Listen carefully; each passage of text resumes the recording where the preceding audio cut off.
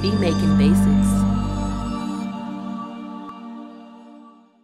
What's going on YouTube? It's your man Ever J Music, owner of Beat Making Basics, and we're back again with another dope video. If you're new to the channel, please do me a favor and subscribe to the channel. Also, go ahead and hit the like button and leave a comment if you like the content. Now, today's video is going to be all about showing you what you could do if you're getting a system overload message when you're trying to make beats or mix in Logic Pro 10. Now, I have a session right here up. Let me turn this guy off.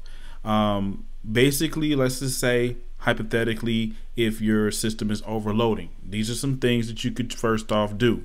The first thing you want to do is make sure you don't have a whole bunch of other programs running. So I could come over here, you know, click off of calendar, click off of Spotify here, um, click off this splice, this everything, you know, you don't want a whole lot of programs running because what's what's happening with the uh, system overload is basically is you know you have too much stuff that the uh, computer is trying to process all at once.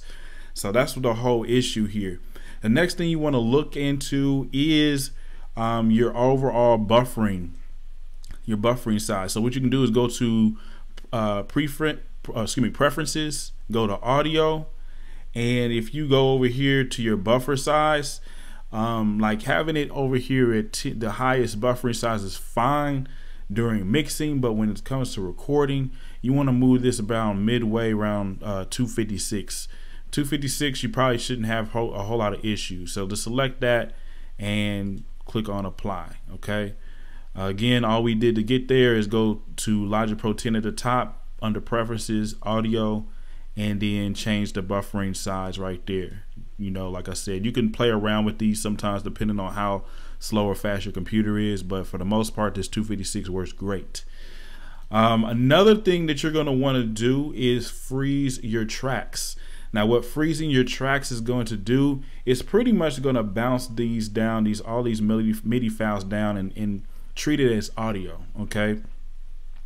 Quick way to do that. The first thing you want to make sure you have selected here. You go to Logic Pro 10. Uh, go to preference. Um, yeah, preferences, and you want to go down to advanced tools you want to make sure all your um, advanced tools are enabled. So you can just click on enable all and there you go. Now, after you do that, what you want to do is you could just hold down control and if you want to do, then scroll down to uh, track header components and make sure that freeze is actually selected. And now if you look closely here, there's like a little snowflake and say you know this track right here is giving you trouble you could pretty much freeze it you know what i'm saying? You can freeze all of these.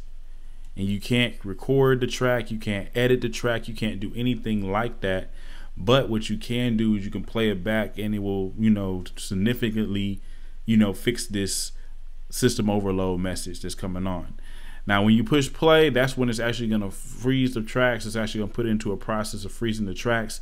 Since this is, you know, a long uh, video here, I don't want to do it too much, but I'll freeze this one. So I'll, put, I'll show you what I'm talking about. Just push play. And now this track is frozen. If I don't want it frozen again, turn it off, okay?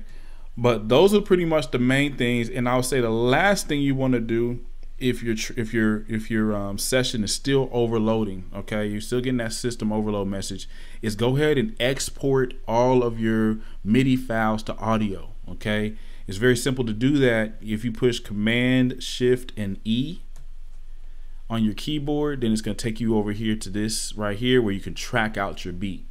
These are some tips that you could use in order to avoid system overload. Once you track out your beats or um, export them to audio, what you could do is do a new session. Okay. Um, do a new session. And then you can just drag your tracks right on in here. So I can come over here. Let me see. Find those. And I can just drag them in here.